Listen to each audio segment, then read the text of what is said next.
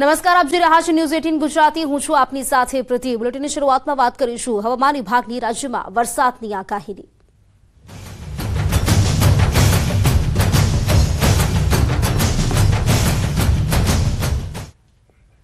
ખેડૂતો માટે આનંદો ગુજરાતમાં પાંચ દિવસ વરસાદી માહોલ રહેશે. હવામાન વિભાગે વરસાદ અંગે મોટી આગાહી કરી છે. ગુજરાતમાં સાર્વત્રિક વરસાદની આગાહી છે. બે દિવસ બાદ અતિ ભારે વરસાદ પડશે તેવી આગાહી આજે ગુજરાતમાં સાર્વત્રિક વરસાદ થઈ શકે છે. બે જિલ્લાને બાદ કરતા ગુજરાતમાં થશે વરસાદ. આણંદ અને પાટણને બાદ કરતા તમામ સ્થળે આગાહી કરવામાં આવી છે. તો આવતીકાલે બે જિલ્લા સિવાય તમામ ભાગોમાં વરસાદ પડશે તેવી આગાહી છે. પાટણ બનાસકાંઠાને બાદ કરતા તમામ ભાગોમાં વરસાદ થઈ શકે છે આવતીકાલે એકત્રીસ જિલ્લામાં વરસાદ પડશે તેવી આગાહી છે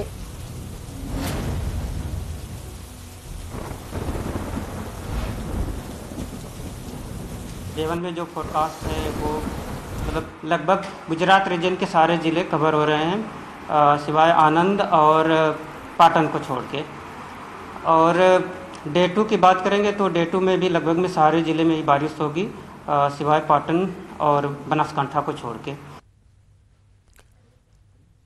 તો ખેડૂતો માટે આનંદો કહી શકાય કારણ કે ગુજરાતમાં પાંચ દિવસ વરસાદી માહોલ રહેશે તેવી આગાહી છે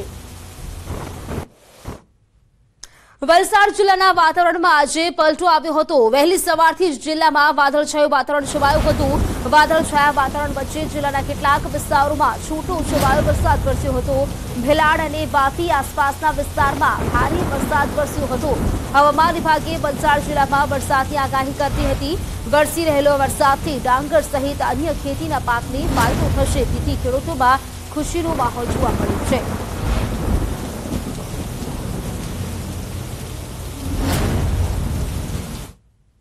તો પાટણમાં કેનાલમાં પાણીની માંગ સાથે ખેડૂતોએ વિરોધ કર્યો છે. શંખેશ્વરના ખેડૂતોએ વિરોધ નોંધાવ્યો. મુજપુર ગામે ખેડૂતોએ વિરોધ નોંધાવ્યો. વરસાદ ખેંચાતા ખેડૂતો પાણીની માંગ કરી રહ્યા છે. માયનોર કેનાલમાં પાણી છોડવા ખેડૂતોએ માંગ કરી છે. કઠોળ તો વાવેતર હાવ નષ્ટ થઈ ગયું છે.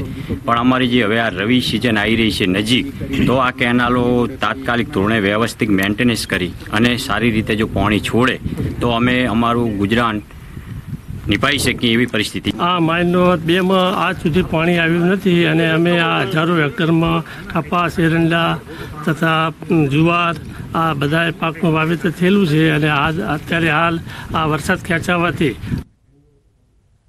પૂર્વ ધારાસભ્ય લલિત વસોયા દ્વારા સૌરાષ્ટ્રમાં દુકાળ જાહેર કરવાની માંગ. કોંગ્રેસના વર્તમાન અને પૂર્વ ધારાસભ્યો મુખ્યમંત્રીને રજૂઆત કરશે. ચાલીસ દિવસથી સૌરાષ્ટ્રમાં વરસાદ ન પડ્યો હોવાથી દુષ્કાળ જાહેર કરવા માટે માંગ કરવામાં આવી છે. પૂર્વ ધારાસભ્ય લલિત વસોયા દ્વારા પ્રધાનમંત્રી કિસાન સહાય યોજના મુજબ દુષ્કાળ જાહેર કરવાનું જણાવ્યું છે. તો આ સાથે તેમણે જણાવ્યું હતું કે સમગ્ર સૌરાષ્ટ્રમાં ચાલીસ દિવસથી વરસાદ નથી પડ્યો અને જેમની પાસે સિંચાઈની વ્યવસ્થા હોય તેમનો પાક બચ્યો છે. આ સાથે લલિત વસોયાએ ભાજપ પર આકરા પ્રહાર પણ કર્યા છે. તેમણે જણાવ્યું છે કે ભાજપની માનસિકતા હંમેશા ખેડૂતો વિરોધ રહી છે અને એકસો છપ્પન ધારાસભ્યો હોવા છતાં કોઈ પણ આ મામલે વાત નથી કરી રહ્યું. કે સમગ્ર સૌરાષ્ટ્રની અંદર ચાલીસ દિવસથી વરસાદનો છાંટો પડ્યો નથી.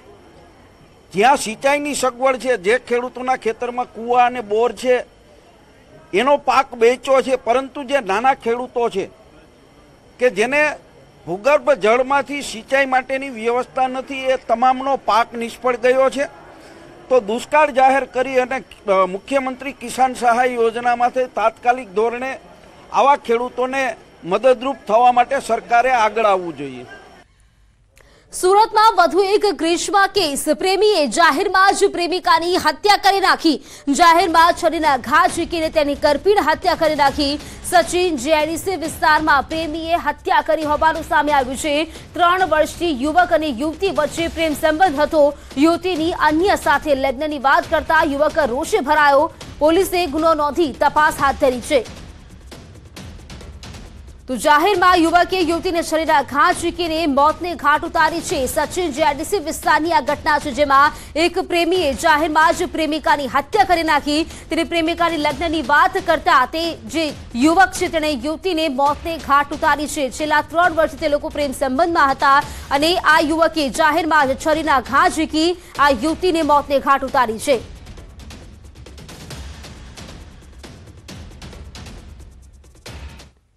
ઈડરના ભેટાલી ગામે યુવકની હત્યા. માથામાં પથ્થરના ઘા મારી યુવકની હત્યા કરી દેવામાં આવી. તબેલામાં કામ કરતા યુવકની હત્યા કરવામાં આવી. પોલીસે ચાર લોકોની અટકાયત કરી છે. સાથે જ એક શંકાસ્પદ આરોપી ઘટના બાદ ત્યાંથી ફરાર થઈ ગયો.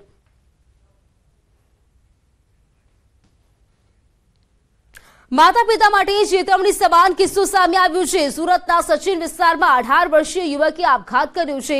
માતાએ એન્ડ્રોઈડ મોબાઈલ ખરીદી આપવાની ના કહેતા યુવકે આપઘાત કર્યો. આ સમગ્ર મામલે સચિન જીઆઈડીસી પોલીસે તપાસ હાથ ધરી છે.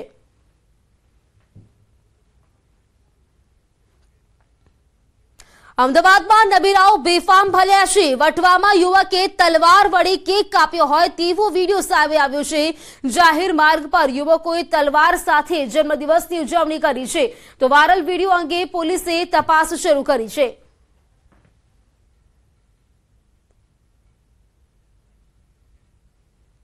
અમદાવાદમાં બેફામ કાર ચાલકે અકસ્માત સર્જ્યું. એચએલ કોલેજ પાસે કાર ચાલકે લારીઓની અડફેટે લીધી. અકસ્માતમાં કોઈ જાનહાનિના સમાચાર નથી. કાર ચાલકે ટક્કર મારતા લારી સંચાલકોને નુકસાની વેઠવાનો વારો આવ્યો છે.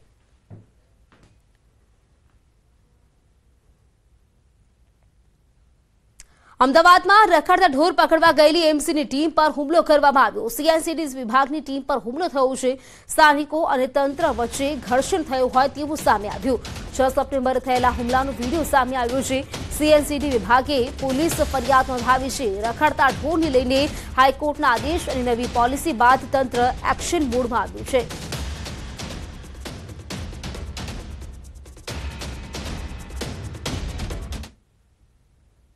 ખેડાના કાશીપુરા ગામનો વીડિયો વાયરલ થયો છે. ખારી બ્રાન્ચ કેનાલના બંધ નંબર છ માં કેમિકલ પાણી ફરી વળ્યા.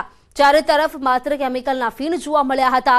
એસિડ અને કેમિકલનું પાણી ખેતરોમાં ફરી વળ્યું હોય તેવું જોવા મળ્યું. કેમિકલના પાણીના કારણે ખેડૂતોના પાકને ગંભીર રીતે નુકસાન થયું છે. ચારે તરફ માત્ર કેમિકલનું પાણી હોય તેવું જોવા મળ્યું. એસિડ અને કેમિકલનું પાણી ખેતરોમાં ફરી વળ્યું હોય તેવું જોવા મળ્યું. ખેડૂતોના પાકને ગંભીર રીતે નુકસાન થયું છે કારણ કે આ જે કેમિકલવાળું પાણી છે તે ખેડૂતોના જે પાક છે તેની પર ગંભીર રીતે અસર પહોંચશે તેવું પણ જોઈ શકાય છે. ખારી બ્રાન્ચ કેનાલમાં કેમિકલના જે પાણી છે તે જોવા મળ્યા હતા.